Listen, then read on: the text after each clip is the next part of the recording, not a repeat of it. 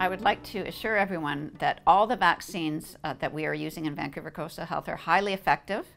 When you attend the clinic, you can be assured that whichever vaccine you are given, it will be effective. Health Canada, which approves vaccines in Canada, only approves vaccines that have been shown to be both effective and safe. And some people may be concerned because they've read about the, the trials of the various vaccines in the media and the effectiveness that those trials found.